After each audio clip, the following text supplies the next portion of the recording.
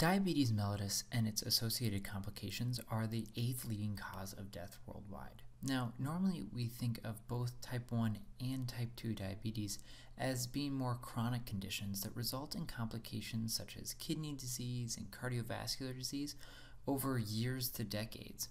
And this is true, but there are also a couple of very important acute complications of diabetes mellitus and these are known as diabetic ketoacidosis, or DKA for short, and hyperosmolar hyperglycemic non-ketotic state, or HHNS for short. And unfortunately, these acute complications can be very serious, especially HHNS, which has a mortality rate of 8 to 20%. In this video, let's discuss hyperosmolar hyperglycemic non-ketotic state. Now, the name hyperosmolar hyperglycemic non-ketotic state is pretty descriptive in regards to the metabolism that underlies the disease. However, it does not really describe the clinical presentation of the condition. So let's start with that. And most commonly, someone with HHNS has already been diagnosed with diabetes and this occurs sometime after their initial diagnosis. And since they have diabetes, they likely will have hyperglycemia, which is one of the defining characteristics of diabetes mellitus. And as we'll discuss in just a minute, it's this hyperglycemia that's driving a lot of the events that are occurring in HHNS. Now, over a period of days to weeks, someone with HHNS is going to become pretty sick, and they're going to have symptoms of fatigue, maybe some weight loss. They're going to have extreme thirst and frequent urination. Uh, on physical exam, they'll have signs of dehydration, such as a high heart rate known as tachycardia, a low blood pressure known as uh, hypotension. Their, the mucous membranes in their mouth may be dry, and their skin may have a decreased turgor, meaning if you pinch the skin, it may kind of stick up like a tent.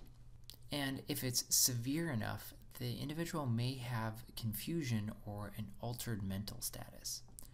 But why exactly do all of these symptoms occur? To get a better understanding, let's break down the name hyperosmolar hyperglycemic non-ketotic state and then discuss some of the underlying metabolism. And we're going to begin here with the hyperglycemia. Remember, HHNS is caused by diabetes, and in diabetes, there's a deficiency of the hormone insulin. In type 1 diabetes, this deficiency is absolute. The pancreas is not able to produce the insulin. But in type 2 diabetes, the deficiency is relative, meaning the body is not able to adequately respond to the insulin that is being produced by the pancreas. Now, one of the functions of insulin is to pull glucose out of the blood to help store it in cells throughout the body, such as the liver, where it can then be used for energy later.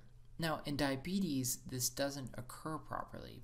So, glucose builds up in the blood, resulting in hyperglycemia or high blood sugar.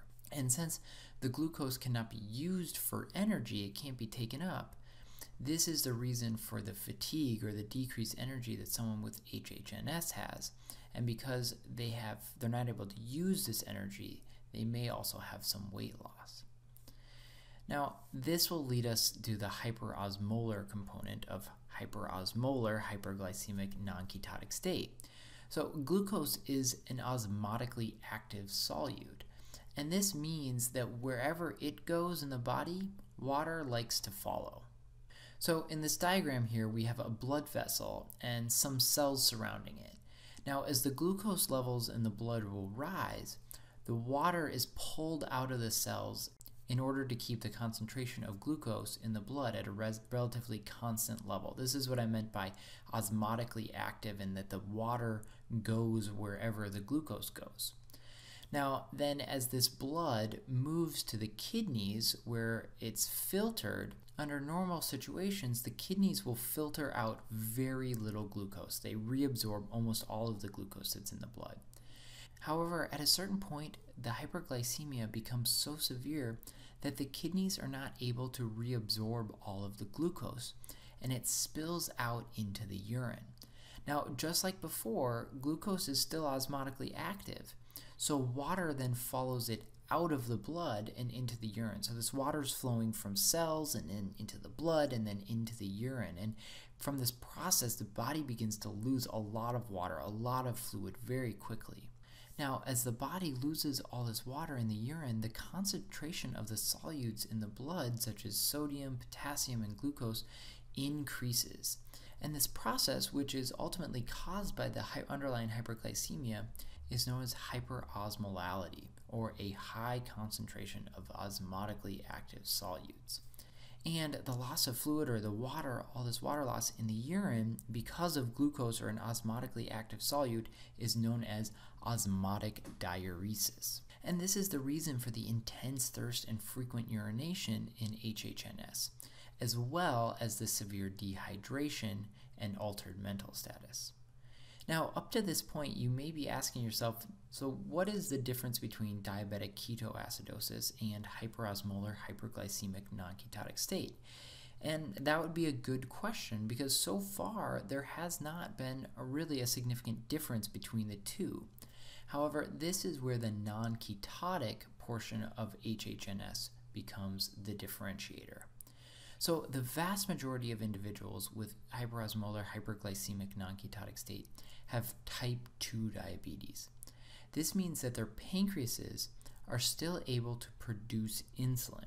So the deficiency in the insulin is relative because this the, the pancreas is still producing insulin, it's just the cells throughout the body can't adequately respond to it.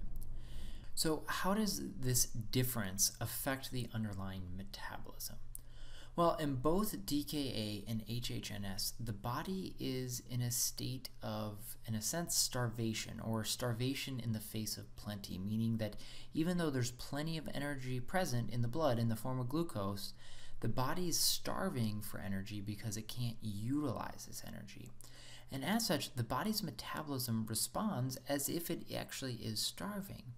And so, one of the metabolic processes that occurs during starvation is a process known as ketogenesis.